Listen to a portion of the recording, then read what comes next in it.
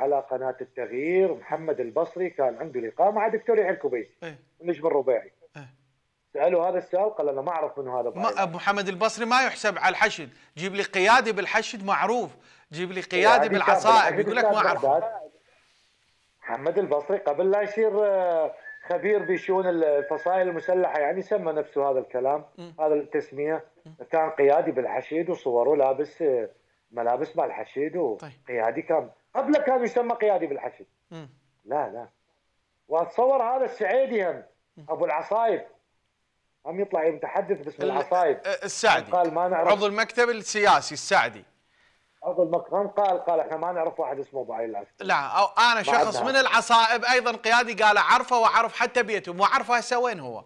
هسه هذا مو حديثنا. خلي أسألك سؤال. آه. دخلت حكومة الكاظمي مرحلة كسر العظم ويا الفصائل المسلحة؟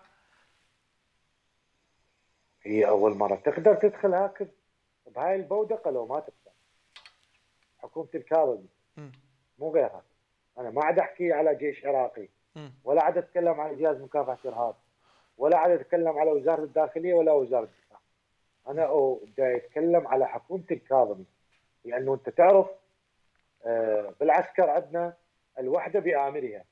إذا آمر الوحدة شجاع آه، يستطيع أن يحقق كل شيء والوحدة كلها تصبح شجاعة وذ- و- و- وأصحاب عقول وأذكياء بس إذا الأمر الوحدة جبان وغبي طبعا الوحدة ماله كلها تبقى مثل هسه تفكيره تقصد أن السيد. الكاظمي مو شجاع؟